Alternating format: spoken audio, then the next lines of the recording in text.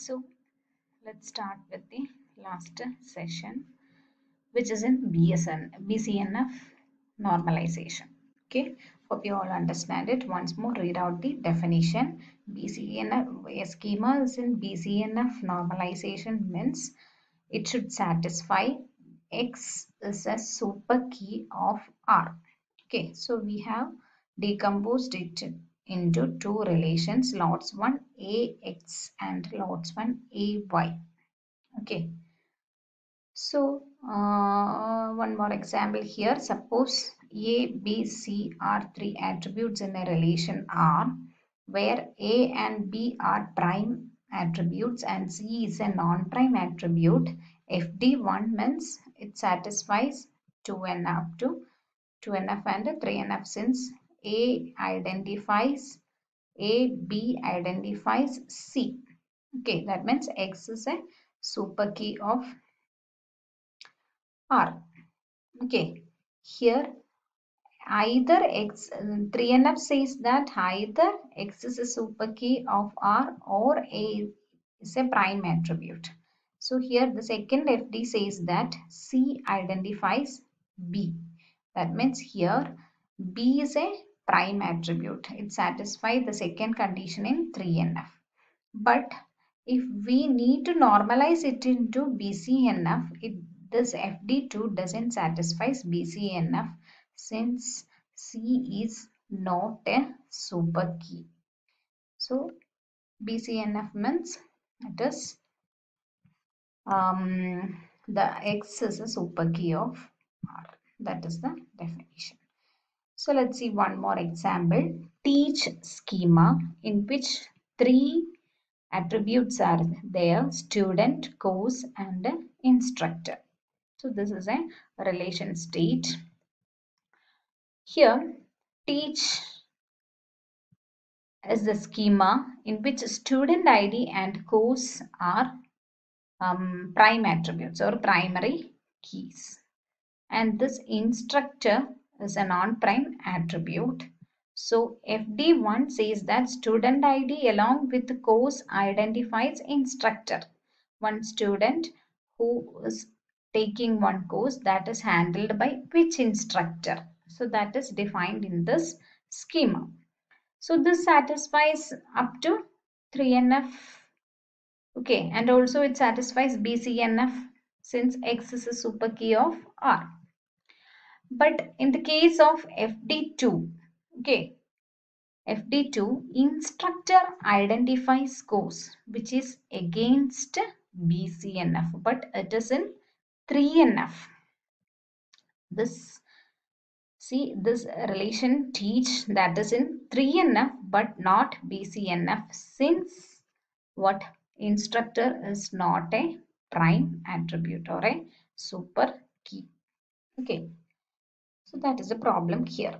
So in order to achieve the BCNF by decomposition, you may, uh, one thing is student course identifies instructor and another one is instructor identifies course of which student and course are candidate keys. Okay. So this relation is in 3NF but not in BCNF. So we need to decompose in order to attain BCNF by preserving all the functional dependencies in the decomposed relation. That is our rule. But here, student ID course is chosen as the primary key. FD2 doesn't violate 3NF since course is a prime attribute. But FD2 violates BCNF since instructor is not a super key of teach relation. So this can be decomposed into any of these three four possible pairs. First one is student ID instructor. See here student ID instructor and other one is student ID course. So let's see student ID instructor means student Narayan Mark. Okay. So this Mark is again handling another student Wallace. Okay. So Wallace is having another instructor Ahmad. Narayan is also having another instructor Amar. So in order to get unique tuple, you need to keep the student and instructor as a primary key. That means student and instructor can togetherly identify a particular tuple. Narayan, Mark. Okay. Similarly, Wallace, Mark. Or Narayan, Amar. Okay. And another one is we have seen here is student course. So we decomposed one into student instructor of which student ID and instructor is primary. That means both these um, attributes can togetherly identify a particular tuple. Similarly, student ID course, if we are taking like student ID course, there also the same problem. Narayan is taking da database. And also Smith is also studying database. And Narayan is studying operating system also. Okay, so in order to identify this particular tuple Narayan database or Narayan operating system or Smith database or Narayan database. Okay, so here also student and course togetherly identifies a particular tuple. So that is the uh, schema here. One thing is student ID, instructor and student ID course. Next option is course instructor which course is handled by which instructor. So instructor can be given as a primary key. Okay. See here. Because Mark is handling only database. Navathe is handling only database. And Amar is handling operating system only. Okay. Schulman is handling only theory of computation. So like that, so we can say instructor is not repeating here. Okay, that means he is mapped with only one course. So we can say this instructor as a primary key. Okay, but we cannot give course as a primary key since database is handled by Mark and database is handled by Navathe also. But Mark is handling only database. So here we have given course instructor and next is course student ID. Course instructor is one relation and other relation is course student ID of which course students uh, one student is studying more than one course and one course is studied by more than one student. So we can togetherly uh, with this these two attributes course and student id we can identify a particular chapter. This is the second option.